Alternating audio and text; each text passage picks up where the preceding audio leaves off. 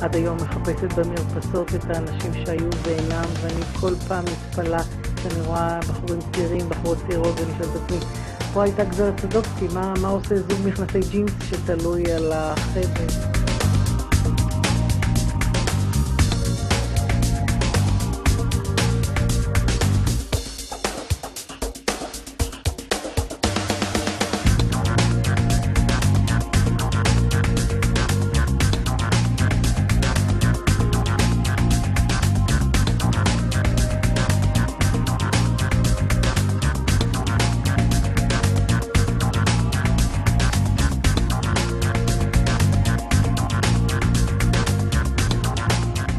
מאחורי הרצח פתאום נחשף סיפור מדהים על אח ואחות למחצה.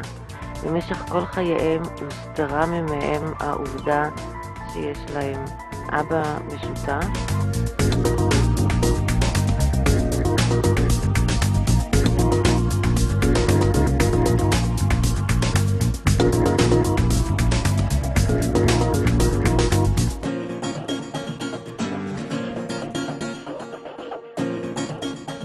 נפתחה הדלת בקומת הקרקע, ופתאום היא עומד מולנו, אדם.